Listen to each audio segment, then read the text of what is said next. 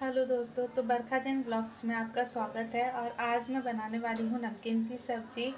मैं नमकीन की सब्ज़ी इसलिए बना रही हूँ क्योंकि आज मेरे घर में कोई भी सब्ज़ी नहीं है तो मुझे समझ में नहीं आ रहा कि अब मैं क्या सब्ज़ी बनाऊँ।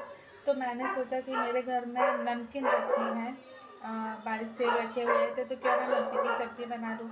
अब आज मेरे घर में कोई भी सब्ज़ी नहीं है तो फिर मेरे पास एक ही टमाटर पड़ा हुआ है, एक ही प्याज पड़ी थी, कुछ हरी मिर्च पड़ी हुई हैं, कुछ लहसुन की कलियाँ थी तो मैंने उन्हीं को ले लिया है, अब उन्हीं की मैं सब्ज़ी बनाने वाली हूँ, मैं आपको दिखाती हूँ। देखो फ्रेंड्स, मेरे पास एक ही टमाटर था, मैंने उसे काट लिया है, एक ही प्याज थी, मैंने उसे काट दी, कुछ मेरे पास लहसुन की कली पड़ी थी और हरी मिर्च तो हैं, लेकिन मैंने चार हरी मिर्च ली है और मैं इस नमकीन के साथ सब्ज़ी बनाने वाली हूँ तो ये मैंने नमकीन ले ली है। अब इन सबको मैं पीस लूँगी, इन सबको मैं एक जार में डाल के पीस लूँगी पहले। मैं इसका पेस्ट बना लेती हूँ। तो गाइस मैंने ये पेस्ट पीस लिया है। देखिए, अब मैंने कढ़ाई रख दी है। गैस पर कढ़ाई में मैं थोड़ा सा तेल डालूँगी।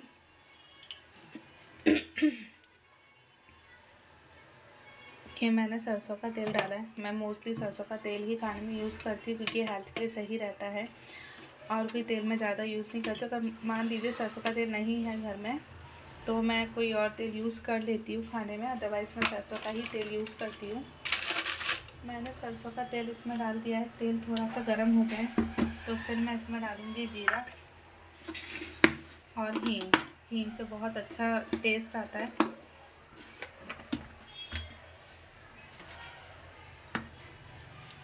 ये थोड़ा सा तेल गर्म हो जाए, तब तक मैं जीरा और हींग निकाल लेती हूँ। ये हींग है, मैं थोड़ी सी इसमें हींग डाल रही हूँ।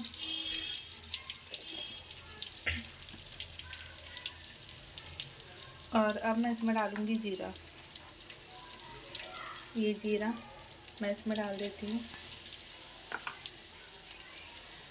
जीरे को डालने के बाद जैसे ही जीरा भुन जाएगा हल्का सा मैं इसमें हमने जो पेस्ट पीसा था आ, प्याज टमाटर हरी मिर्च और लहसुन का वो पेस्ट मैं इसमें डाल दूँगी।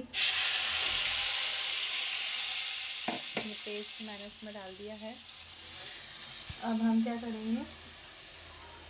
जार में अभी थोड़ा सा वो लगा होता है पेस्ट तो मैं उसमें थोड़ा सा पानी और डाल के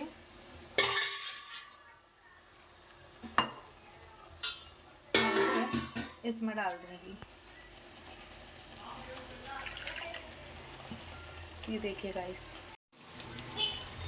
अगर हमारे घर में कोई भी सब्ज़ी ना हो तो अगर आप आ, कोई थोड़ा बहुत ही पड़ा हो तो नमकीन वमकीन भी हो तो आप उसकी भी इस तरीके से इंस्टेंट सब्ज़ी बना सकते हैं जिससे घर में कोई भूखा भी नहीं रहेगा। अगर हम नहीं ख़रीद पा रहे हैं अब मैंने ऑलरेडी इसमें चार हरी में डाल दी है तो लाल मिर्च मैं इसमें थोड़ी सी ही डालूँगी। मैं एक चम्मच हरा धनिया डाल रही हूँ। नमक स्वाद के अनुसार डाल लें और थोड़ी सी हम इसमें डालेंगे हल्दी। अब मैं इसको मिला लूँगी।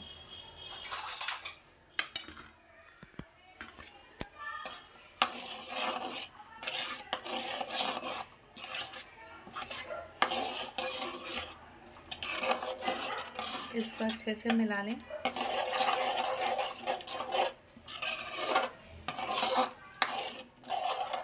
मैं इसको ढक के रख देती हूँ पाँच मिनट के लिए, ताकि थोड़ा सा ये पक जाए।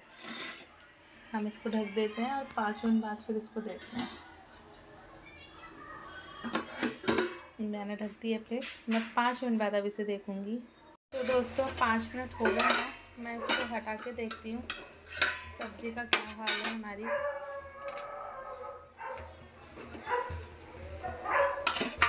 ये देखिए।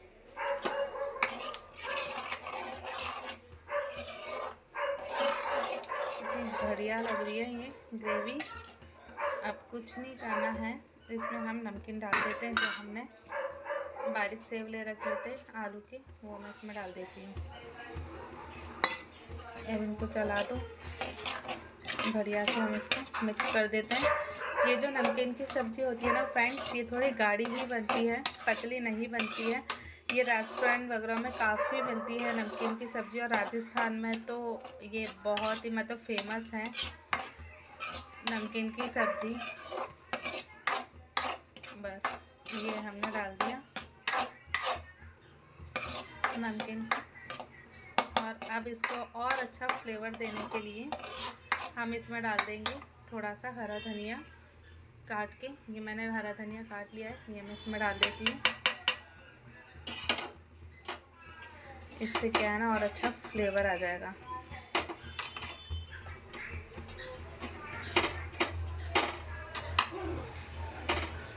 ये मैंने हरा धनिया डाल दिया मिक्स कर लेते हैं।